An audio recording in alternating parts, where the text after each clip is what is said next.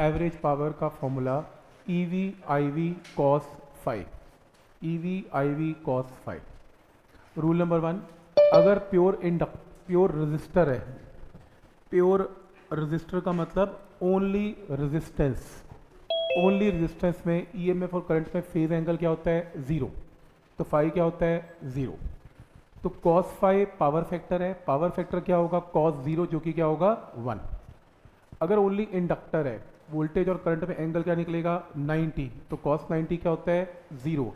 Power factor क्या होगा? Zero. Only capacitor के अंदर भी पावर फैक्टर क्या होता है? ज़ीरो। ठीक, याद रहेगा यहाँ तक? तो इसमें ये हमने लास्ट टाइम किया था तो इससे क्वेश्चन नंबर वन से स्टार्ट करेंगे। तो पावर के ऊपर light bulb is rated 100 watt for 220 volt तो ये आपको पावर गिवन है। ये आपको वोल्टेज की वैल्यू गिवन है वी की वैल्यू गिवन है find resistance of the bulb and peak voltage of the source and RMS current through the bulb देखो, जब भी इस टाइप की प्रॉब्लम है, इस टाइप की प्रॉब्लम में, ये टाइप की प्रॉब्लम में ना इंडक्टर है, ना कैपेसिटर है। तो ये टाइप की प्रॉब्लम पुरानी करंट इलेक्ट्रिसिटी की प्रॉब्लम बन गई। क्योंकि चेंज तो अब आया ना इंडक्टर कैपेसिटर की वजह से। पहले तो आर ही आर था। तो आप रेजिस्टेंस निकालना तो इलेक्ट्रिसिटी से जानते ही हैं। Power is equal to V square by R R is equal to V square by power तो वी स्क्वायर बाय पावर करेंगे, अपने आप आर की वैल्यू आ जाएगी। तो जिन क्वेश्चंस में आपको पावर की वैल्यू गिवन है वोल्टेज की वैल्यू गिवन है, उससे दो चीज़ें तो पक्का निकलेंगी निकलेंगी। एक आर निकलेगा निकलेगा, और चाहे तो करंट भी निकलेगा। आई आर एम एस में निकल सकता है, क्योंकि पावर क्या होता है? वोल्टेज इंटू करंट तो current is equal to power by V और वी बाय डिफ़ॉल्ट कौन सा होता है? आर एम एस तो करंट भी क्या होता है? आर एम एस कहने का मतलब ये जो पावर है, ये भी, ये हंड्रेड एवरेज पावर है, ये वी आर एम एस है, यहाँ से रेजिस्टेंस की वैल्यू आ गई, यहाँ से V R M S question में टू ट्वेंटी गिवन है वी आर एम एस को रूट टू से मल्टीप्लाई करेंगे तो वी नॉट आएगा, और आई आर एम एस क्या होगा पावर अपॉन वी तो ये पावर से वी इंटू आई से जो करंट आएगा, वो आर एम एस आएगा। ठीक है, यहाँ तक क्लियर है? जैसे नेक्स्ट क्वेश्चन है, अब चेंज है आर नहीं है ना, अब सी भी है। Capacitor and resistors are connected in series with AC source तो इसमें सी भी है, इसमें आर भी है। अगर potential difference across C and R तो ये क्या गिवन है? वी सी गिवन है 120 वोल्ट वी आर गिवन है 90 वोल्ट तो and if the R M S current of the circuit I R M S भी गिवन है कितना? थ्री फाइंड इम्पिडेंस एक काम करो, ये वी सी और वी आर गिवन है सीरीज़ में। तो नेट वोल्टेज क्या आएगी? Under root of V R square plus V C square तो नेट वोल्टेज याद रखना, जो नेट वोल्टेज होती है, वही आपकी क्या कहलाती है V R M S net voltage या वी आर एम एस एक ही बात है। तो अगर तुम्हें अलग अलग वोल्टेज गिवन है वी सी और वी आर तुम नेट वोल्टेज निकाल लो। जो नेट वोल्टेज आएगी, वो आपका वी आर एम एस होगा। तो वी आर एम एस की वैल्यू कैन बी कैलकुलेटेड तो वी आर एम एस आ गया।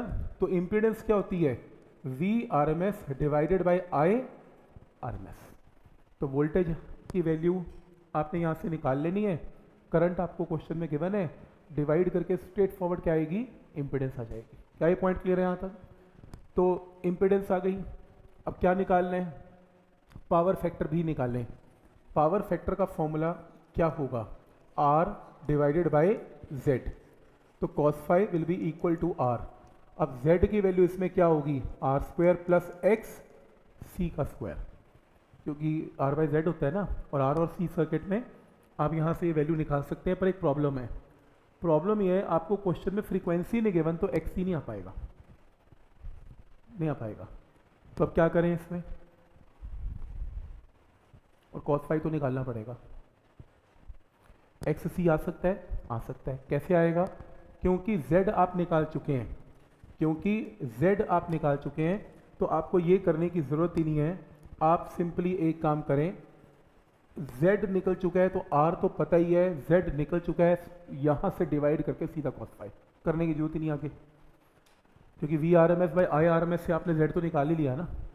और एक बार आपने z निकाल लिया फिर r बाई जेड से कॉस फाइव की वैल्यू भी आ गई। क्या ये पॉइंट क्लियर है यहाँ तक? कोई डाउट इसमें ठीक है।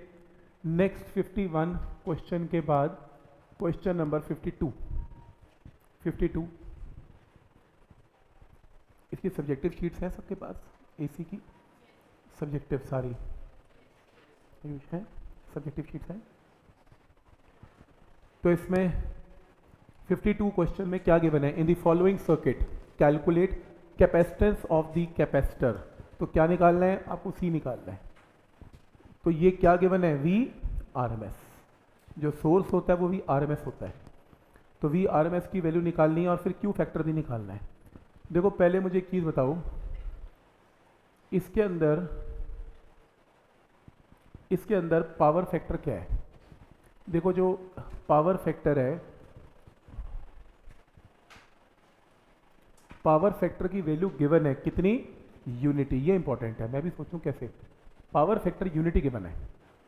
अब हो गया क्वेश्चन सॉल्व एक ना बहुत इंपॉर्टेंट पॉइंट है। अगर power factor cos phi unity है पावर फैक्टर होता क्या है? आर बाई जेड तो आर बाई जेड वन है तो आर किसके इक्वल है? जेड तो जेड आर के इक्वल है, यानी कि मिनिमम है it's a case of resonance ये बहुत इंपॉर्टेंट है। जिन क्वेश्चंस में power factor cos phi one है, यानी कि या तो उसमें सिर्फ़ रेजिस्टेंस लगी हुई है एल और सी है ही नहीं तो भी कॉस फाइव वन होता है।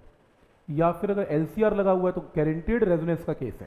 इसमें एल लगा हुआ है पावर फैक्टर वन है आर जेड के इक्वल है तो रेजोनेंस हो गई। तो रेजोनेंस हो गई। एक्स एल किसके इक्वल है? सी ओमेगा यहाँ से सी की वैल्यू कैन बी कैलकुलेटेड क्योंकि एल तो आपको पता ही है। ये ट्रिक है इसमें। बहुत इंपॉर्टेंट पॉइंट है ये। ठीक है यहाँ तक? तो पावर फैक्टर अगर वन है तो इसका मतलब है रेजोनेंस है। आगे।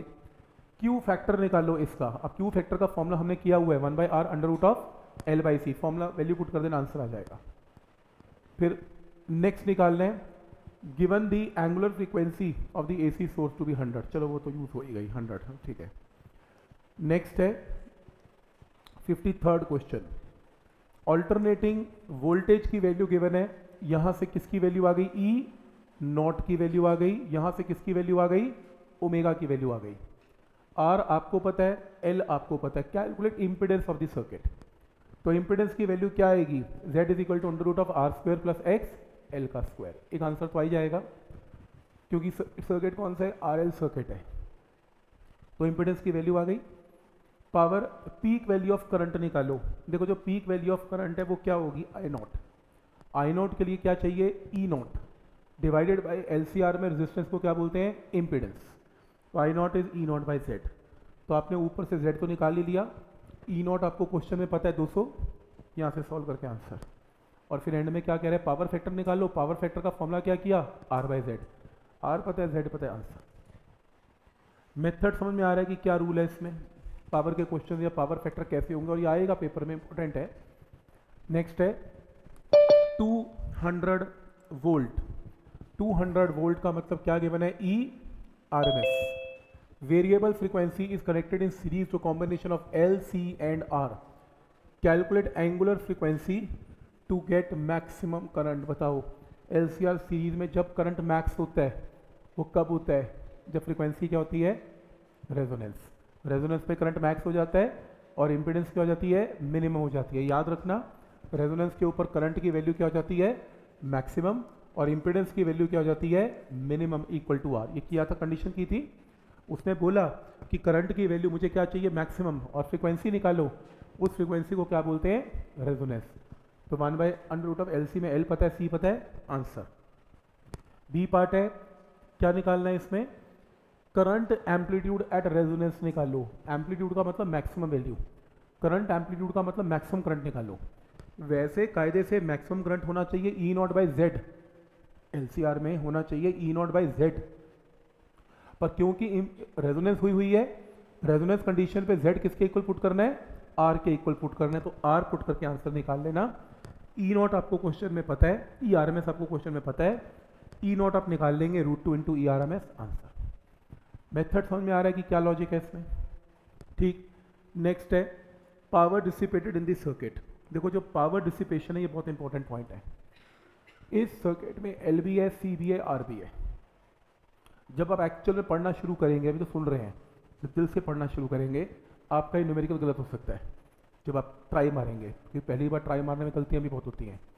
तो आप इसमें फॉर्मूला लगाएँगे I R M S square Z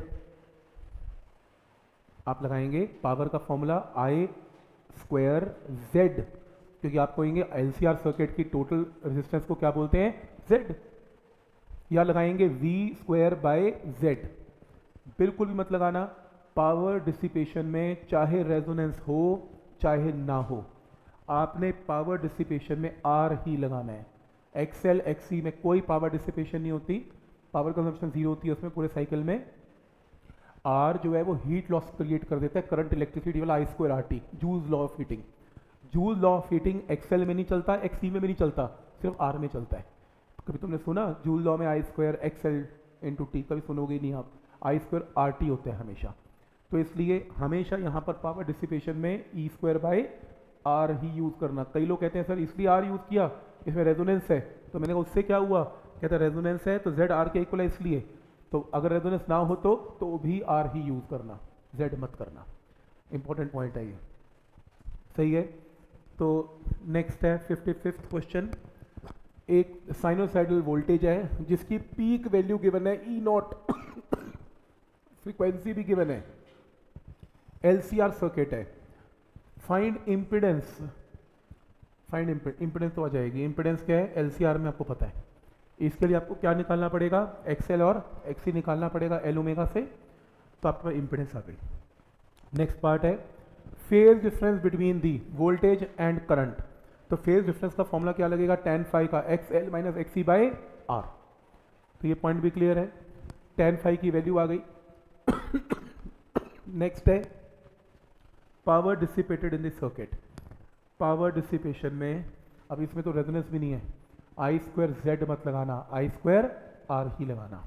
I R M S square R लगाना। फिर नेक्स्ट है, क्या निकालना है? पावर फैक्टर पावर फैक्टर निकाल लेना। वैसे इसने क्या किया? टेन फाइव ले लिया। फाइव को कॉस के अंदर पुट कर दिया। कहता कॉस फाइव आ गया। चलो आप मत करो। आप ये एंगल निकाल नहीं पाएँगे। आप लगा लेना cos phi R by Z आपको आर पता है, आपको जेड पता है रेशियो निकाल लेना R by Z answer cos phi equal to R by Z से आंसर आ जाएगा। मेथड समझ में आ रहा है यहाँ तक? तो जब भी मेरे को कोई पावर फैक्टर बोलता है, मैं सबसे पहली चीज़ यही बोलता हूँ आर बाई जेड लगा लेना। लगे ना लगे बात की बात, पर सबसे पहली चीज़ यही मुँह से निकलती है। नेक्स्ट है suppose the frequency of the source in the previous example can be varied वो कह रहा है, चलो, इसमें फ्रिक्वेंसी कांस्टेंट थी। कह रहा अलाउ करो, इसको वेरी कर सकते हैं। What is the frequency of the source at which resonance occurs लो, इससे आसान क्वेश्चन क्या होगा? रेजोनेंस कब अकर करेंगे? ये फ्रीक्वेंसी है one by two by root L C answer आ गया? Calculate impedance current and power dissipated in resonant condition resonance के ऊपर इम्पिडेंस क्या हो जाती है? मिनिमम कितनी? आर तो जो आर की वैल्यू वही जेड की वैल्यू फिर आई आर एम एस क्या होगा? E R M S by Z होता है. पर क्योंकि रेजोनेंस हुई हुई है तो जेड किसके इक्वल हो जाता है? आर के इक्वल हो जाता है. ई आर एम एस तो पता ही है ई e नॉट की फॉर्म में हमें तो आई आर एम एस आ गया। और जब बात पावर डिसिपेशन की है पावर डिसिपेशन में यहाँ पर क्या आएगा? आई स्क्वायर जेड नहीं आएगा आई स्क्वायर आर आएगा। सही है यहाँ तक? फिफ्टी सेवन इस क्वेश्चन में virtual current of virtual current क्या होता है? I R M S it is connected in a circuit having alternating current of frequency पता है। पावर कंज्यूम पी की वैल्यू पता है। कैलकुलेट इंडक्टेंस निकालनी है। अगर वर्चुअल पोटेंशियल डिफरेंस वर्चुअल का मतलब I V R M S पता है। देखो, पहले एक पॉइंट बता देता हूँ। जिन क्वेश्चन में वी आर एम एस और आई आर एम एस पता होता है हंड्रेड वन परसेंट एक फॉर्मूला तो पक्का लगेगा ही लगेगा जेड निकालने का।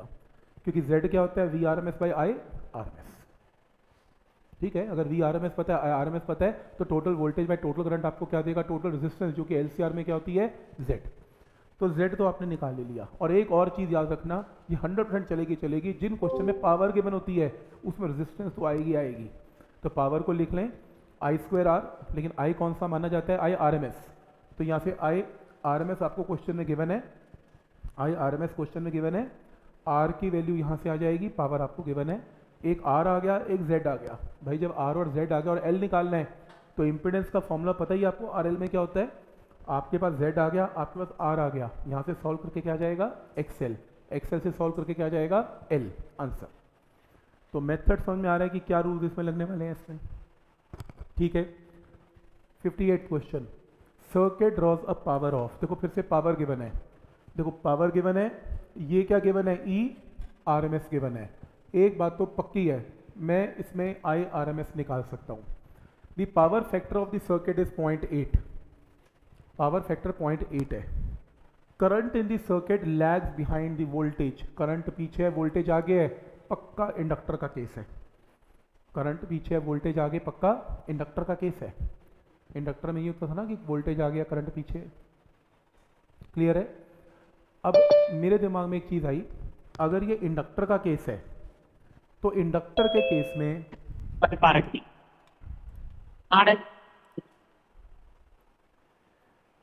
ठीक है? तो इंडक्टर के केस में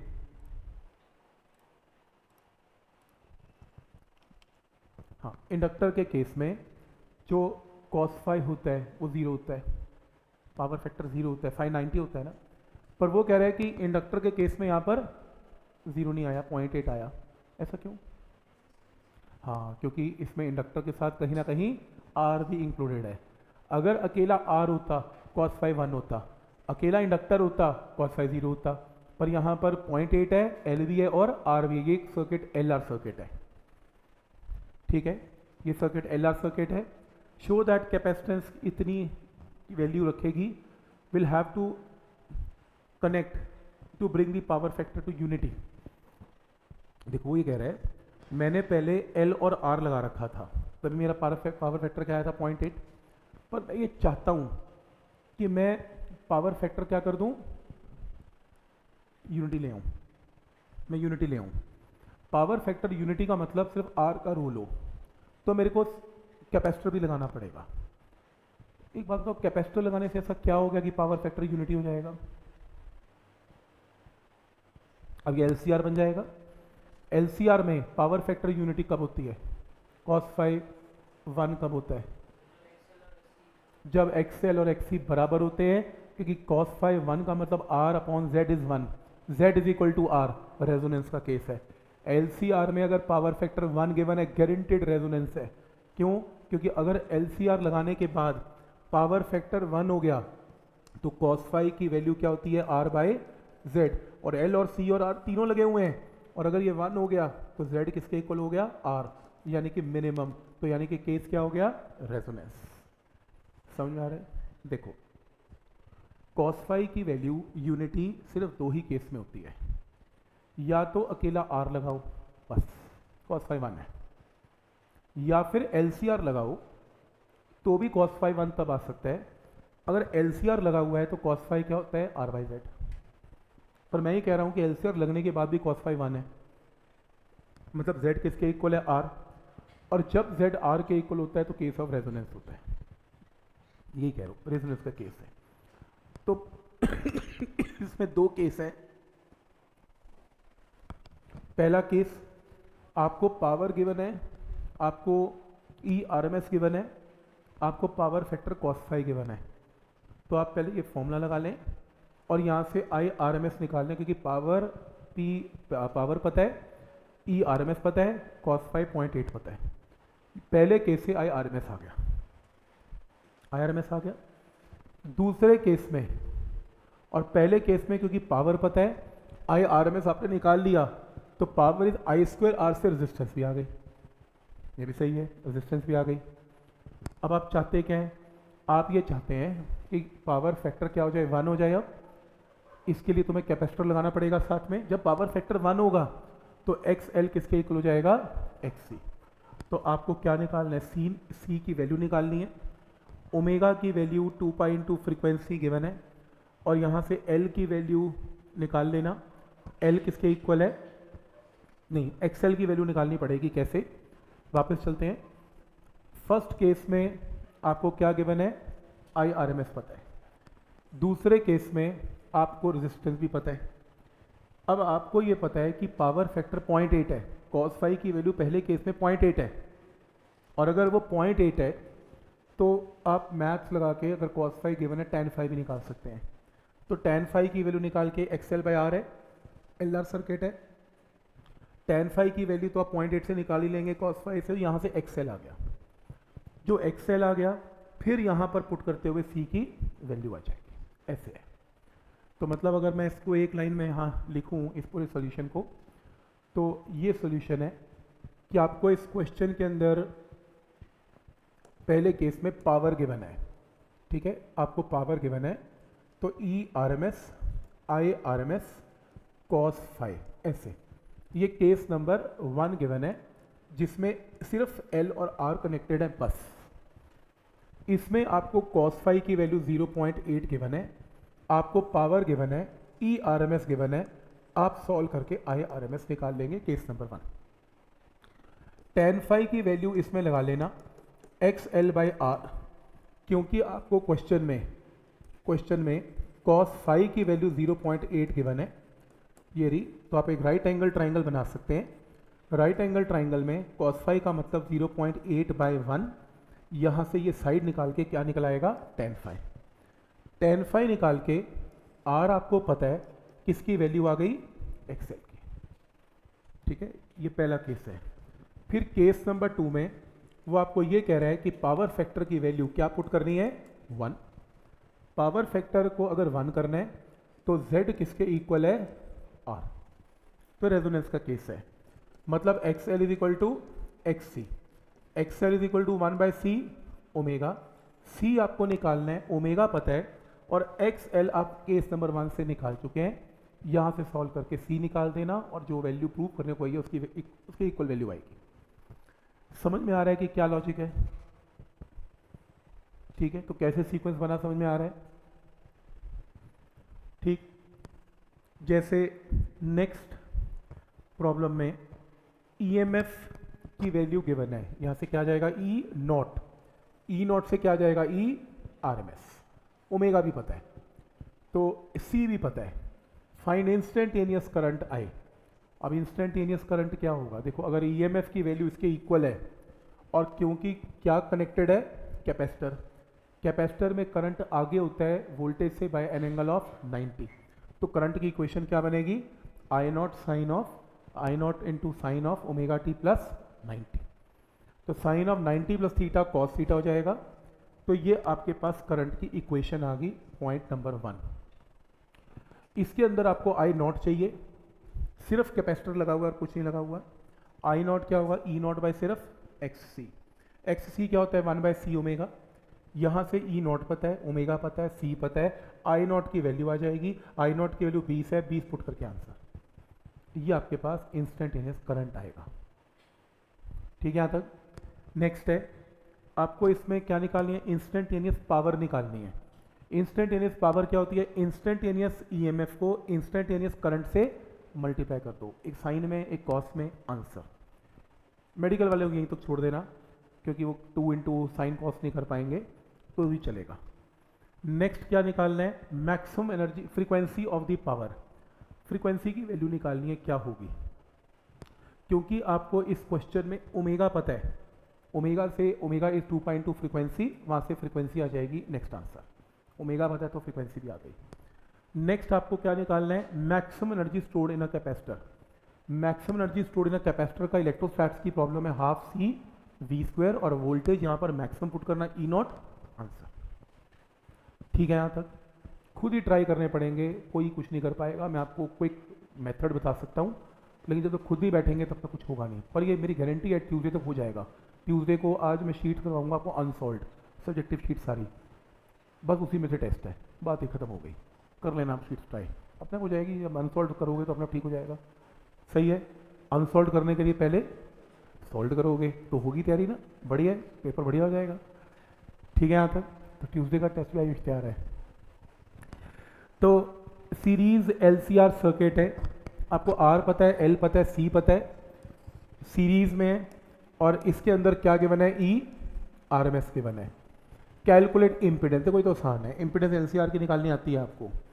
इम्पिडेंस की वैल्यू आ जाएगी z is equal to under root of R square X L minus X C का whole square A part peak value of current peak value of current क्या होता है? आई नॉट आई नॉट क्या होता है? ई नॉट बाई जेड और ई e not क्या होता है? Root two into E R M S by Z E R M S आपको पता है। रूट टू आपको पता है जेड आप निकाल लेंगे आई नॉट आ गया। नेक्स्ट है calculate power factor of the circuit R by Z कर दो पावर फैक्टर आ गया। आर पता है जेड पता है पावर फैक्टर आ गया।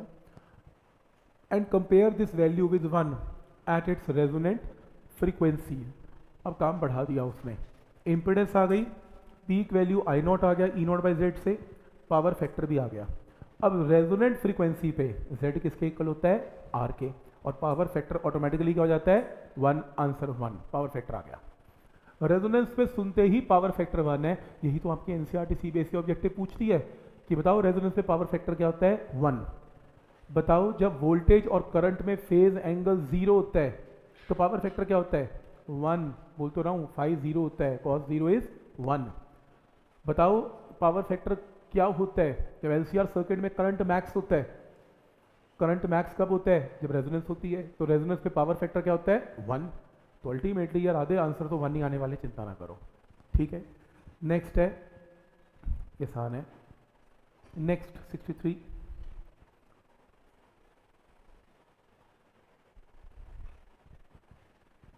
तो आपको इसमें सी पता है और चार्ज पता है। आपने 50 वोल्ट से कैपेसिटर को चार्ज कर दिया। तो कैपेसिटर में एनर्जी कितनी भर दी? हाफ़ सी वी स्क्वायर फिर वो कहता है कि सोर्स सप्लाई रिमूव्ड सेल को हटा दिया जिसे चार्ज किया, और फिर क्या लगा दिया? इंडक्टर लगा दिया, और इंडक्टर में करंट पाँच एम्पियर हो गया। अब इंडक्टर में करंट कैसे आ गया? कैपेसिटर ने अपना चार्ज किसको दे दिया? इंडक्टर को। इसी को तो क्या बोलते थे? एल सी ऑसिलेशंस जब कैपेसिटर को चार्ज करके इंडक्टर साथ लगा देते हैं तो कैपेसिटर अपना सारा चार्ज इंडक्टर को देता है। तो इंडक्टर में एनर्जी क्या हो जाएगी? हाफ़ एल आई स्क्वायर आपको आई पता है इक्वेट करके यहाँ से एल की value can be calculated answer तो ये इसका आंसर है राइट यहाँ तक क्लियर है?